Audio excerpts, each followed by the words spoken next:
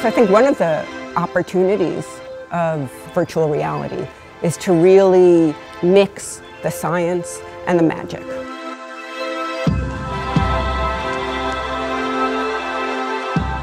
VR is unique in that it can really immerse a person completely. They can get a sense of the scale of something.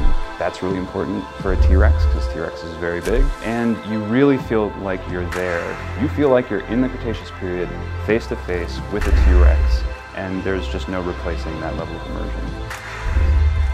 We are all about bringing VR into education, whether it be schools, libraries, and museums. But we really feel that bringing this immersive technology and VR into these spaces allows you to visualize, experience art, science, history, and culture in ways that you can never experience before.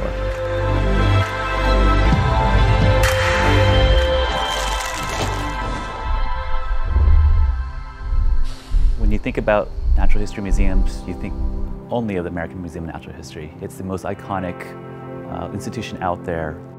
We've been experimenting with VR for a couple of years now, knowing that it's something that uh, visitors were very interested in, and knowing that it would, it's a great opportunity for us to engage them in the three and four dimensional data sets that our scientists are working in.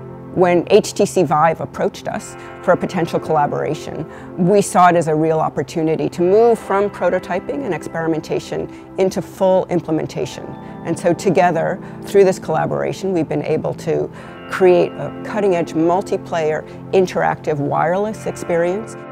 Social experiences bring families together, that's why they come to the museum. So to be able to bring them into VR and not isolate them and instead allow them to see each other and experience that Cretaceous world together, that really is something that we strive for.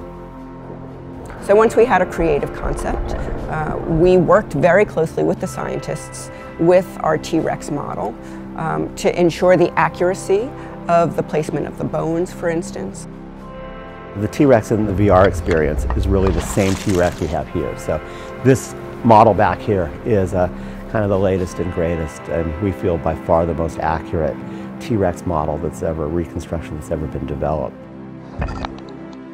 So visitors will get to spend a couple of minutes actually assembling a T-Rex skeleton and then thanks to the magic of virtual reality we can fully assemble that entire T-Rex skeleton and it will come to life and the visitors will be transported from a museum hall to the paleo environment to Hells Creek, Montana, where the T-Rex roamed 65 million years ago.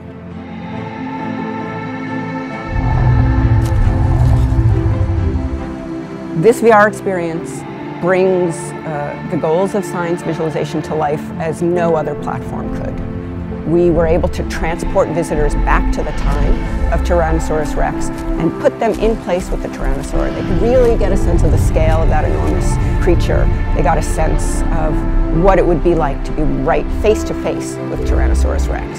And that's bringing the science to life.